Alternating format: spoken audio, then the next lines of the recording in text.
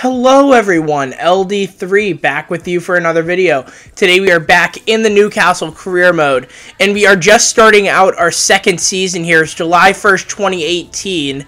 Um, we're just going to take a quick look at the squad just to see what is up. Clark is still injured, but I just put him back because we need to get back to that four in the back rotation.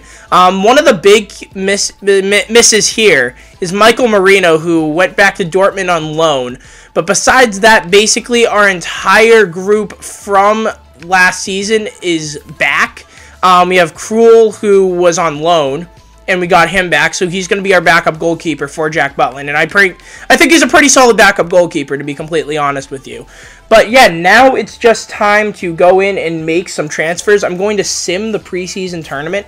And one more thing I am going to do before we start anything is we are going to go and do our first financial takeover. Financial support by a way of a billionaire owner. Once redeemed, your budget will automatically be increased in your career, and you can only use this one per season. Or you can only use one financial takeover per season. So we're just going to do the level 10 financial takeover so we can get a little more money, maybe get a little more stuff there. We just used the financial takeover. Now let's see what our transfer budget is.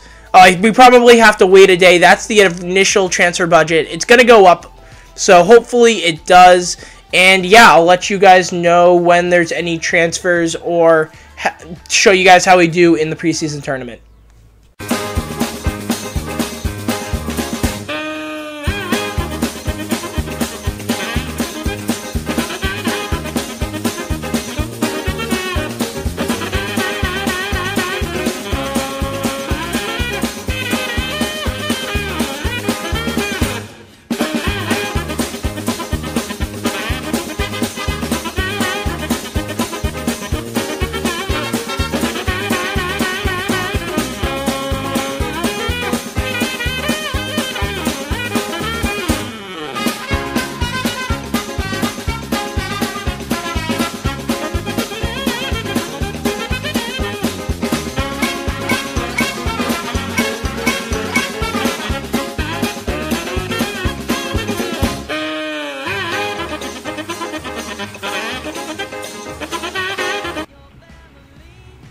Okay, guys, so this is actually our third preseason game right now. Newcastle just beat Leverkusen 2-1. We won all three games in the group stage. So I'm pretty happy about that. We're going to be taking on Celta in the semifinals of the European International Cup. We got a little more transfer budget. And after looking at all that, here's our new transfer budget. That's including the takeover and the additional money we just got. So we have 102 million to spend as Newcastle. I will absolutely take it. So, we haven't gotten anyone yet, but I will let you guys know when I do.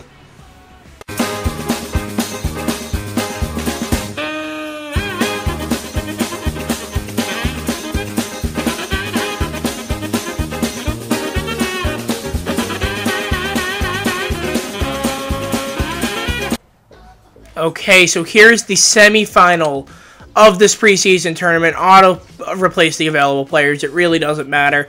Let's go and see if we can win this game. We win 3-1, so we're moving on to the final. That means a little more transfer budget, and it gives us and it gives us more chance to get some good players. Okay, and here is that final of that preseason tournament against Sassuolo, I believe is how you pronounce it. I'm probably way off, but we're just going to sim this game. Hopefully we win. Can we go on and win this game? We win on penalties. Okay, so we win the preseason tournament. We get about an additional six million in total of transfer budget. So going back here, we're going to see the final transfer budget that we have. It's going to be about 108 million. It could probably go up and down depending on how much wage I give out. But yeah, we're scouting a few players. We're seeing what we can do, and we're going to go see if we can sign a few players now.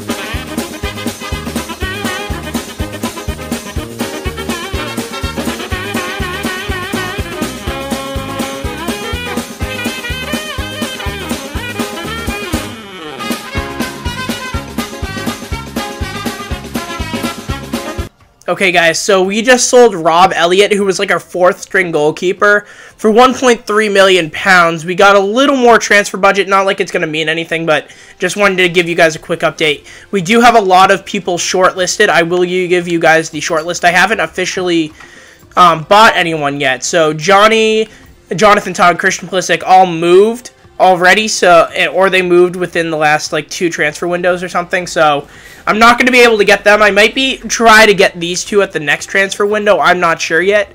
But we're looking at andrew robertson as possibly a left back replacement trent alexander arnold sort of like a prospect in a way. And then we got a couple people over here like lucas hernandez juan pablo Añor, martin odegaard and iago falque.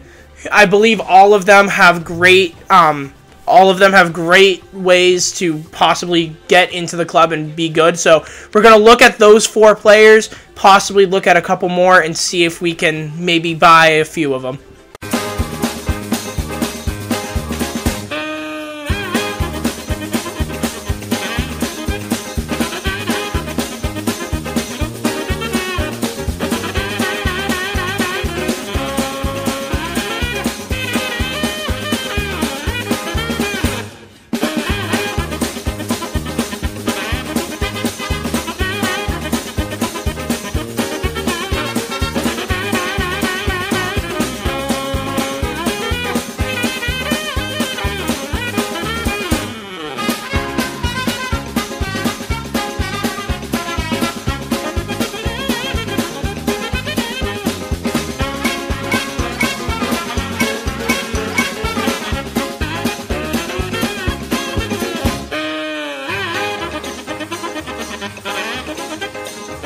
Okay, guys, so it looks like we're about to sign Joel Matip from Liverpool. He's going to fit in right as our first center back. They, he wants a little more in a couple other places.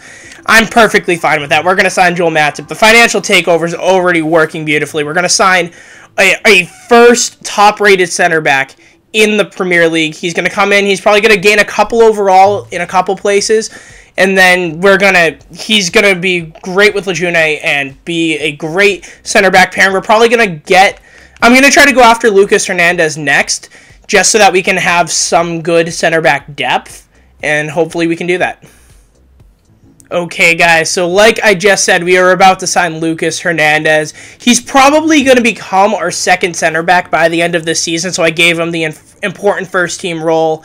And now we have some great depth at center back because we got Joel Matip, Lejeune, Lucas Hernandez, and Clark once he comes back from his ACL injury. So one of our weaknesses is one of our weaknesses has now turned into a strength.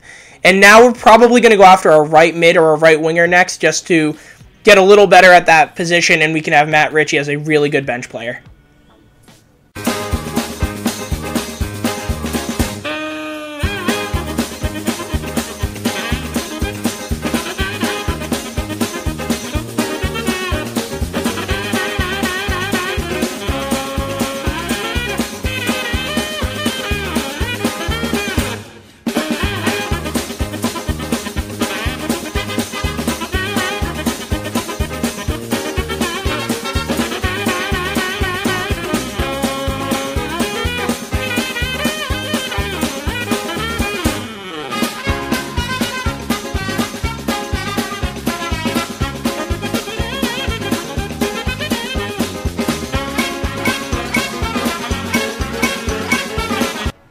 Okay, guys, so we are going to end this episode right here. Uh, not a lot happened. We did win our first trophy of the season in our preseason tournament, so that's good. We also did get a couple players. We got Joel Matip, we got Lucas Hernandez. We're looking good on those fronts. Now our defense is looking really strong. Let's go take a look at the squad. I haven't put the players in yet, so you and I are going to do this together. We're going to put in right here. We're going to put in Joel Matip, and then Lucas Hernandez is going to go right here where Dummett is. And we have a pretty solid group right now in that back four. We got DeAndre Yedlin, Manquillo, Lejeune, and Matip. I might go after a left back. I'm not sure. I'm also looking at a left mid because Christian Atsu is actually a right mid. So if I move him over to the right mid side, that side's better. And if we can get a better left mid, or yeah, better left mid, we should be looking good there. So this left side might need a little bit of work, but besides that, look at that squad. We got Santa Bria and Briel and Bolo both already going up one overall. Jonjo Shelvey going up, Ayoze Perez going up. Jack Butland is Jack Butland, we all know that. Tom Davies already going up one overall, so our bench is getting better. Everything's looking great. I'm loving how this team is turning out. But again, probably going to have to get maybe one player, maybe two players on the left side. I might, I'm trying to go after a big name signing. I'm trying to go after Marcus Rashford. Like, as you saw in the sim, Marcus Rashford's probably my top priority, so maybe I can get him at left mid, and we'll have a really good core right there. But I'm still not sure yet. I'm not sure where I'm going to go, but we are going to play the match against Burnley last time, who beat us in the FA Cup. So this is a going to be a very big match. Hopefully our new um, defensive signings can help us get us over the edge and beat Burnley in this Community Shield. But that is all going to be for next time. So, if you guys enjoyed the video, go ahead and drop it with a like. Go ahead and subscribe if you want to see more from me. And I will see you guys with a new video real soon. Bye.